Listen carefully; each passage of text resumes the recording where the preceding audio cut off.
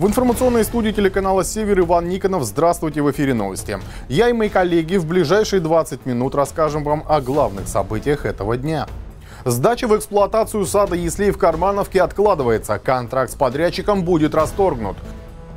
Новые идеи и обмен опытом в Ненецком округе прошли дни инноваций. Участниками стали предприниматели в сфере IT. Фитнес городских улиц. В нашем эфире расскажем про популярный вид гимнастики, выполняемый на турниках, брусьях и других конструкциях. За прошедшие сутки в Ненецком округе зарегистрировано три случая заболевания коронавирусом. Такие данные на утро 24 декабря приводит региональное управление Роспотребнадзора. Таким образом, с начала пандемии в регионе официально зарегистрированными случаями заболевания COVID-19 являются 757 подтвержденных случаев. По данным медицинских организаций, за истекшие сутки выздоровели 14 пациентов. На сегодняшний день на лечении под наблюдением с диагнозом COVID-19, подтвержденными результатами ПЦР-лаборатории уровня референс, находится 41 пациент, в том числе один бессимптомный носитель. Из них в стационаре получает лечение 15 человек. Находится на амбулаторном лечении 26. Переправу через Печору в районе села Устюса планируют открыть к 10 января. Об этом сообщает информационное агентство НАО-24 со ссылкой на компанию «Темпдорстрой», которая отвечает за обслуживание участка. Так, в эти дни продолжается искусственное намораживание ледовой переправы в районе села Устюса. Работы ведутся в две смены. Используется 10 мотопомп. Обустройству благоприятствуют крепкие морозы. Толщина льда на Печоре в эти дни составляет 60 сантиметров и до 10 сантиметров в самом тонком месте. Также в организации сообщили, что после открытия движения в районе переправы будут установлены дорожные знаки. Водители просят обращать внимание на ограничения по весу. В прошлом сезоне когда грузоподъемность ледовой переправы составляла всего 3 тонны, несколько грузовиков ушли под лед. Добавлю, этот участок республиканского зимника открывает путь на Большую Землю жителям и предпринимателям Ненецкого округа. Ледовой переправой они смогут воспользоваться после открытия зимника Наринмар-Усинск, строительство которого началось в минувшее воскресенье и планируется завершить во второй половине января. Сдача в эксплуатацию сада Яслей в Кармановке откладывается. Контракт с подрядчиком будет расторгнут. Об этом заявил губернатор Ненецкого округа Юрий Бездудный во время выездного совещания по городским стройкам. Вместе с главой региона на долгострое побывала и наша съемочная группа. Ольга Руссул продолжит тему. Новый ясли-сад. Согласно проекта, здесь должны были появиться просторные теплые группы, музыкальные физкультурные залы, кабинет психолога и многое другое. Сдать объект в эксплуатацию для самых маленьких жителей города, а это дети от года и старше, планировалось еще в ноябре этого года. Но пока открытие задерживается на неопределенный срок. Последний раз рабочих на этой строительной площадке видели больше трех месяцев назад. Объект заброшен, нет даже сторожа. Александрович, а как э, происходит, что на стройобъекте даже сторожа нет? Что общался вы с подрядчиком? Ну, судя по всему, здесь кроме собак в последнее время никто не заходил сюда. По словам исполняющего обязанности руководителя профильного департамента, перед подрядчиком была поставлена задача – заколотить ставни, двери, обеспечить безопасность объекта. Но застройщик поручение попросту проигнорировал. Техническая готовность э, здания 54%, здание не готово. А, на объекте люди не работают. А, значит, нет а, полной комплектации. Да, их здесь и не было, похоже, давно. Здесь их и не было, да, уже месяца как три. А, материалы отсутствуют для завершения строительства. К слову, контракт до сих пор не был расторгнут только потому, что подрядчик попросил шанс на устранение недостатков. Мол, мобилизуют силы и наверстают сроки. Однако кредит доверия исчерпан. Красную ленточку перед входом в это детское учреждение должны были перерезать 15 ноября даю вам поручение. Во-первых, начать процедуру расторжения. Если мы увидим, то, что там какие-то нарушения, передать все эти документы в соответствующие органы правоохранительные. И в двухнедельный срок предложить какое-то решение, что мы делаем с этим объектом. Юрий Бездудный отметил, что вчера во время Госсовета президент обратил внимание в приоритете интересы жителей страны. А открытие этих яслей с нетерпением ждут самые маленькие горожане. К тому же объект входит в программу национальных проектов. Применяйте санкции к подрядчику.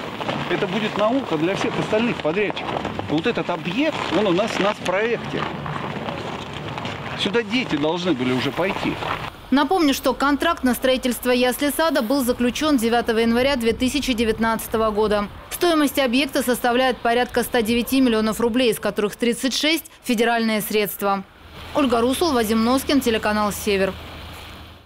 Новые идеи и обмен опытом. В Ненецком округе прошли Дни инноваций. Мероприятие проводилось второй год и собирает на своих площадках предпринимателей в сфере IT и участников регионального кластера информационных технологий. Серия семинаров при поддержке Фонда содействия инновациям прошла в Центре развития бизнеса. Александра Литкова расскажет подробнее.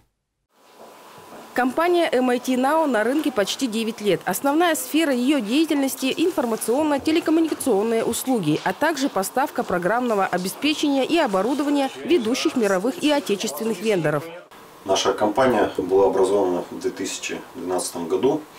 А, основной вид деятельности нашей компании – это информационные технологии и все, что с этим связано, в том числе а, телемедицина, а, на текущий момент э, компания насчитывает 17 сотрудников.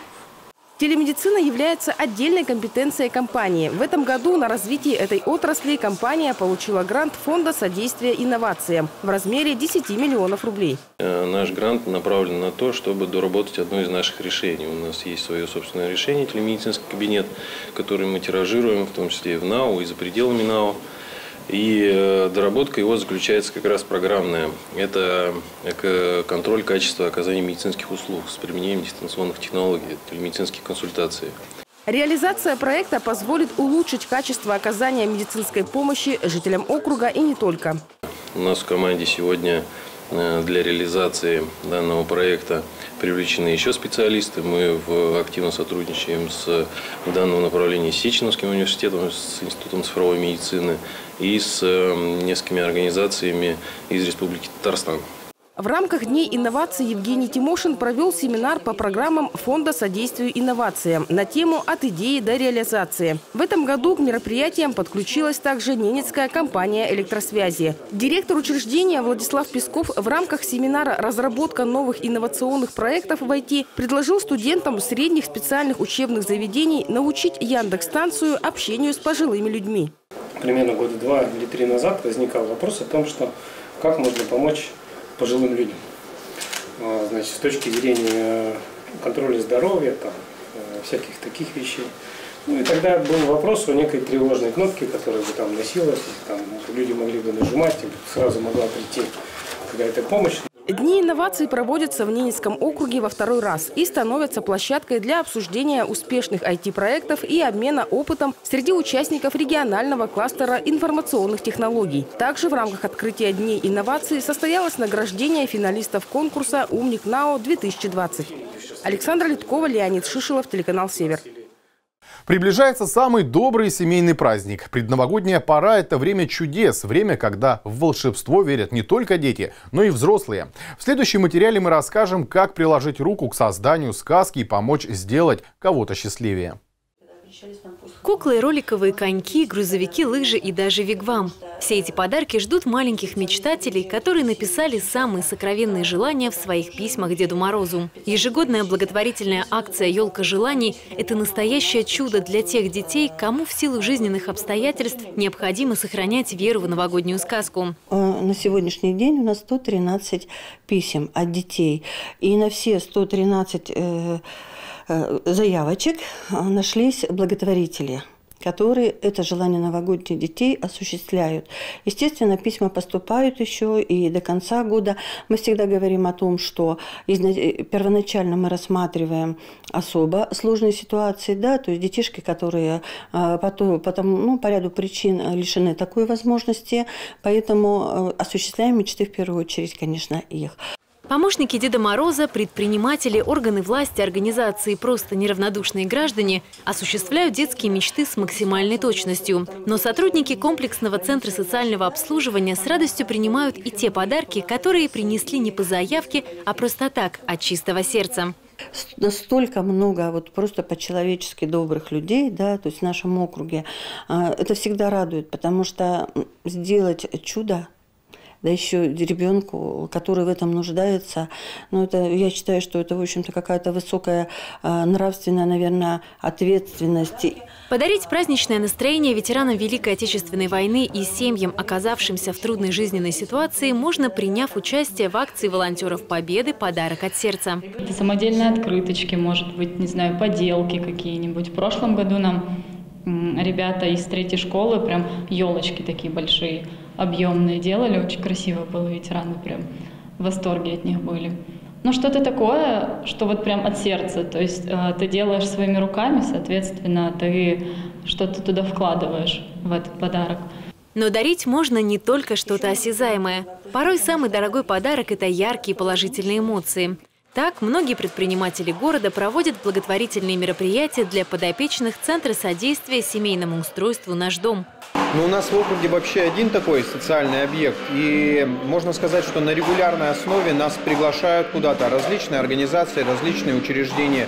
Вообще каждый рад каждый в округе, наверное, каждая организация, у которой есть возможность, она рада нам помочь, с удовольствием помогает, зовет наших детей активно принимать участие и за это, соответственно, поощряет. Мы им за это тоже очень благодарны. Присоединиться к волшебникам может любой предприниматель, вне зависимости от направленности своего дела. Главное – делать это от чистого сердца.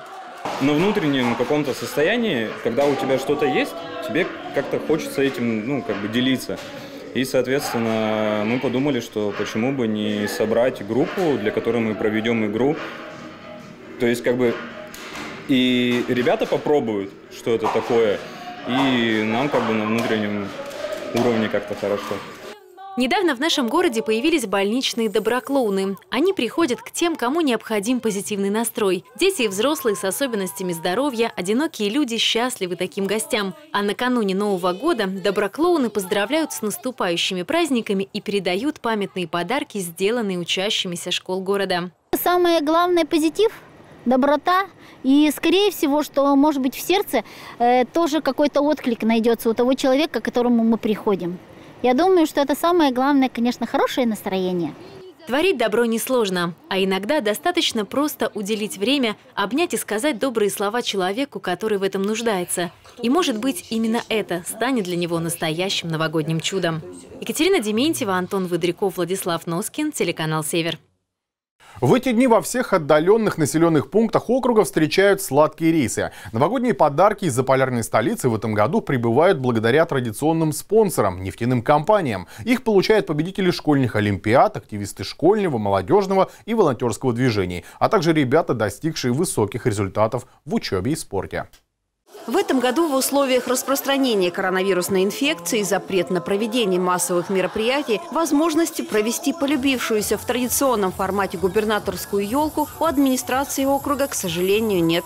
Единственное, мы не будем собираться в одном зале и вручать эти подарки. Но подарки да. для детей, одаренных детей, детей, которые хорошо учатся от губернатора, они дойдут во все населенные пункты. Подарки для самых активных окружных детей на этой неделе доставят во все школы города и населенные пункты округа. Большая часть уже отправлена, остальные находятся на стадии формирования. Вручать презенты традиционно будет Дед Мороз и Снегурочка, конечно, с соблюдением всех санитарных норм. А в этом году при поддержке губернатора Ненецкого автономного округа Юрия Васильевича Бездудного, при поддержке компании «Недропользователь Зарубежнефть» а, нам в округ э, доставлено тысяча подарков для данной категории детей. А в двух возрастных категориях, это первый, девятый класс, это сладкий подарок, и девятый, э, десятый, одиннадцатый класс, это, соответственно, уже а, более такой существенный подарок для а, детей. Напомним, губернаторская елка – это праздник для одаренных детей НАУМ, который традиционно проводится в конце декабря. Он организуется в первую очередь для детей-сирот, победителей предметных олимпиад, активистов школьного, молодежного и волонтерского движений, ребят, достигших высоких результатов результатов в учебе и спорте. В прошлом году губернаторские елки посетило порядка одной тысячи детей. Что же касается малышей, которые в силу своего возраста не успели проявить себя, это дети от одного года, не посещающие детские сады. Их подарки ждут в региональном комплексном центре социального обслуживания населения.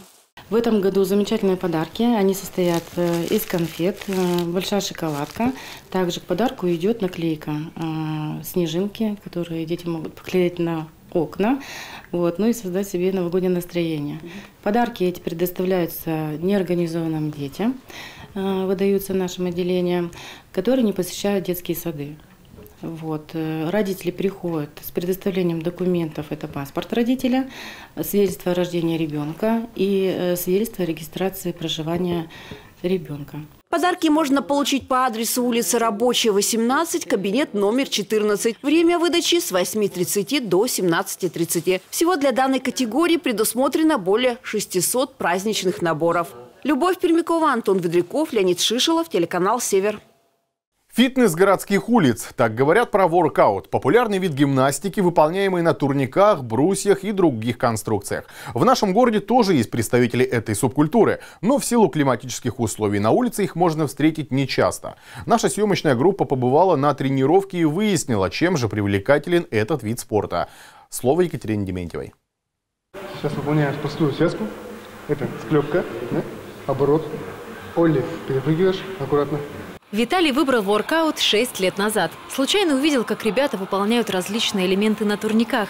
Начал заниматься сам, собирать вокруг себя единомышленников, а со временем и помогать другим. Год назад я решил для себя, что я хочу его продвигать, потому что он очень хорошо развит у нас в России, так и за рубежом, то есть в Европе. А у нас на Римане как таковой федерации даже ну, не было, соответственно. Площадки ставят, но как бы люди там особо и не занимаются. Ну вот и кто, если не? В ноябре этого года в Ненецком округе появилась Федерация воркаута. Теперь ребята могут принимать участие во всероссийских и международных чемпионатах, представляя наш регион на высоком уровне. Расти здесь есть куда. У этого вида спорта семь разрядов, двигаясь по которым можно получить звание мастера спорта. Придя в воркаут всего 7 месяцев назад, Василий уже добился определенных успехов. Из минусов этого вида спорта выделяет только один основной – постоянные мозоли на руках. В детстве занимался постоянно там турники, брусья. Ну, это то, что это легко доступно всегда.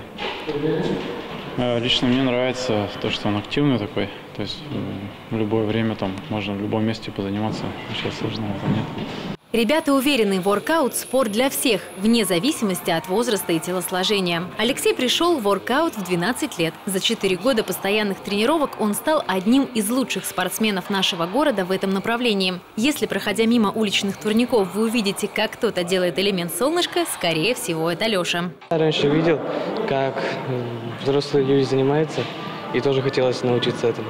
Самое сложное – это большие обороты ну, без лямок, без страховки. Так, самые сложные я еще не выучил, это самые простые.